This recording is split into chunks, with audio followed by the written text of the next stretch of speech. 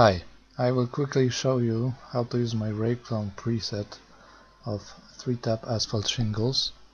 So let's merge uh, 3-tab shingles RC Max, all OK.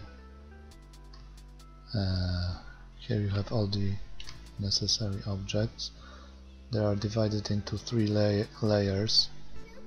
Uh, here's the layer with RailClone objects ridges and shingles. Uh, elements are uh, objects that RailClone uses for distribution. They are not renderable, so you can leave leave them uh, visible, and they won't render. And we have uh, splines. We have three splines. One is for ridges, one is for shingles,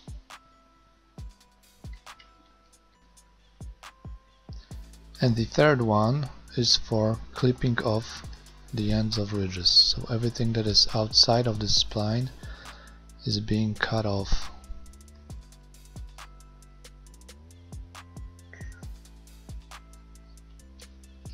And that's the only function of the spline to cut off uh, the corners of the last shingles. Okay let's make uh, let's put some shingles on this roof we have. First let's draw a spline for shingles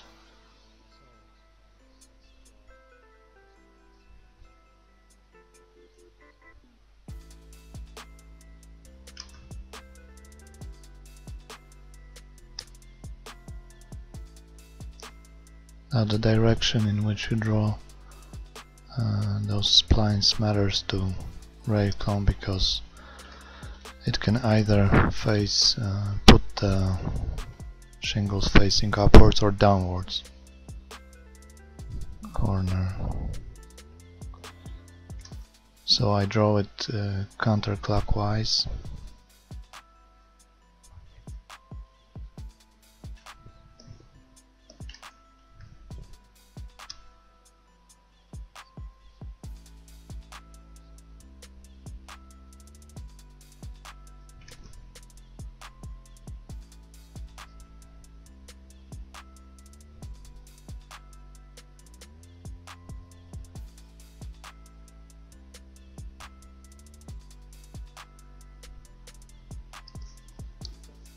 okay.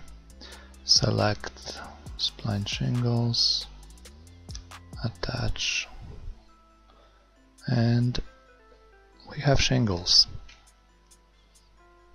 Okay but let me show you. If I uh, select this spline and reverse it the shingles are facing downwards Okay, let's do the ridges now. I will just hide the RailClone object. Um, spline. For ridges you have to, you should start from the bottom and go upwards. For the top ridge it doesn't really matter that much. Spline ridges. Select. I will just hide the shingles. So I don't attach the shingles. Okay. Now we don't see the uh, ridges because we have to adjust the clipping spline. So let's just uh, move it over here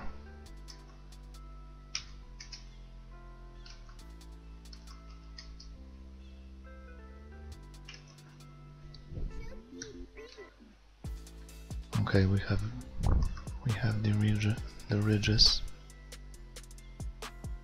Mm, now we have to adjust uh, their bend angle.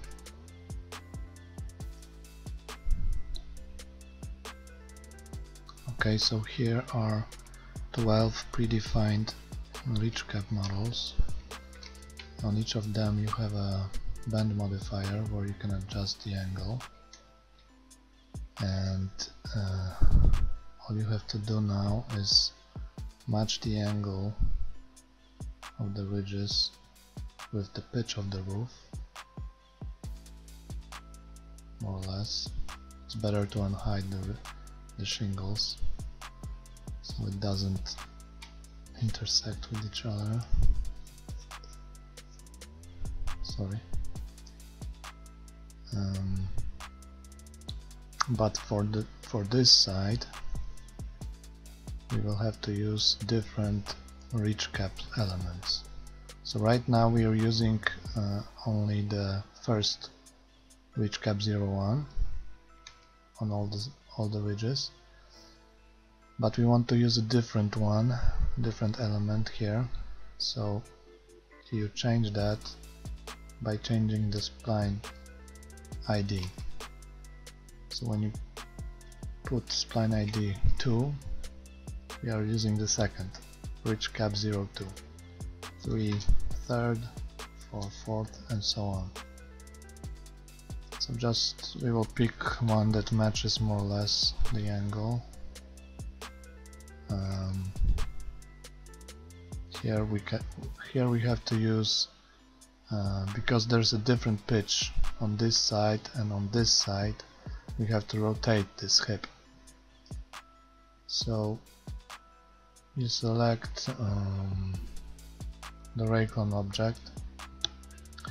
Here in parameters you can you can you can see you have uh, hip rotations.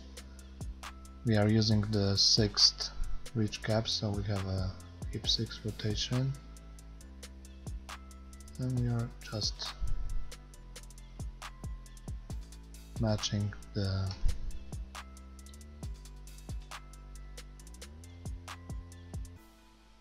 roof. Okay we have this side. Now on this side we, we will have to use the same bend angle but opposite rotation. So select spline ridges select this spline change its ID to the 7th um, but we want to use the 7th has a different bend angle. So we, we want to use the same bend angles as on this side. So you will just select the ridge cap 7 uh, sorry 6 ridge cap 6 copy the angle value select the 7 and paste the bend angle. And right now we have to select the RailClone hip 6 rotation copy it and paste with a minus value. And now we have the opposite rotation. And it looks it looks okay. Okay so now the last thing we have to fix is this hmm,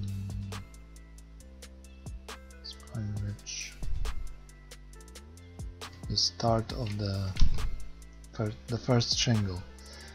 We want to use the we want to use this shingle which has a cut cut out corners cut off corners and you do that by changing the vertex from corner to bezier or bezier corner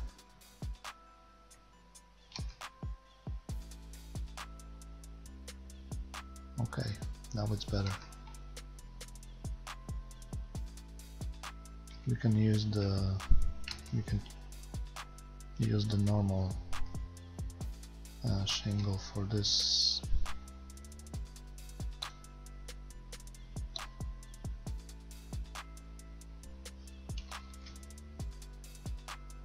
corner.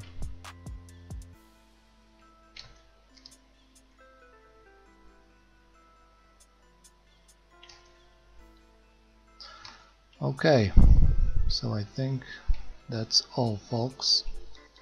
Thank you for watching.